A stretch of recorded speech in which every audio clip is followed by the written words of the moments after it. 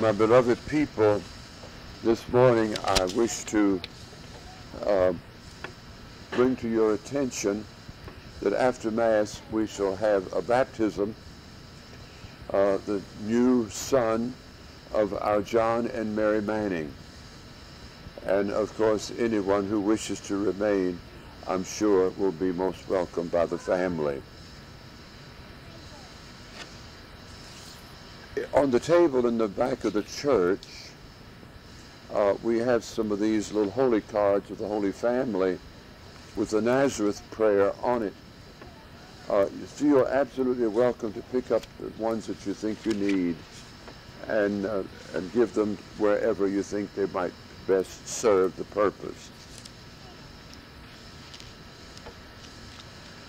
I wish this morning only to spend just a very few minutes time, since we do have the baptism after Mass, um, to you to encourage you to carefully read the bulletin.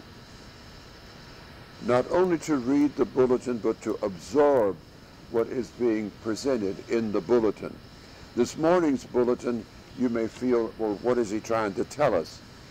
Uh, well, I may not be speaking to us directly in this particular area, but uh, I am, as you, as you know, these bulletins do go out into various parts of the nation and the world, and there's some things that just simply have to be said. And um, let those who have ears to hear listen, and those who have eyes to see to see, is what we're taking the position in today's bulletin. But we do stress the Holy Family. And we do stress going to Nazareth.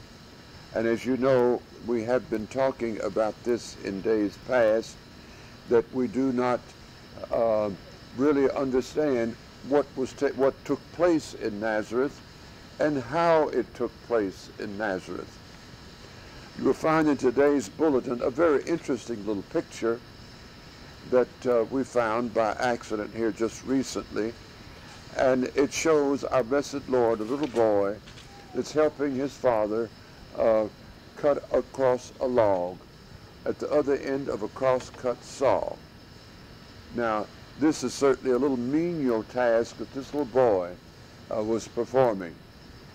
And it is this kind of life, as and it is also portrayed in the picture of the Holy Card of the life at Nazareth that we must learn to uh, not place too much mythology around the activities of our Blessed Lord's life and around the life of our Blessed Mother and around the life of Joseph.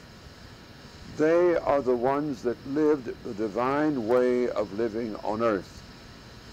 And we should imitate them to the extent possible. So as we start the new year this morning um, and yesterday having um, celebrated the, the, great feast of the Epiphany of our Lord, uh, we certainly need to try to look at life as we should look at it and in the way that the, that the divine God in heaven would want us to see it. I wish also to bring to your attention that after Mass we will have Epiphany chalk available. Please help yourselves to the chalk. And there are different colors of chalk in the little bowl. Some of you might wish to have different colors. Chalk is chalk. And the color of the chalk has nothing to do with the validity of the blessing. So I mention that because I feel sure that uh, there might be some here or elsewhere who might think that the color of chalk has something to do with it.